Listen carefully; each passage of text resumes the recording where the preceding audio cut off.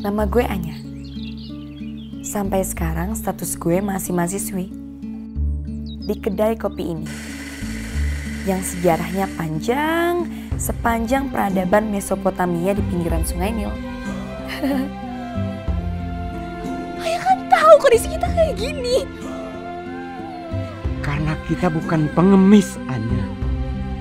Kita harus bisa berdiri sendiri tanpa harus bersandar.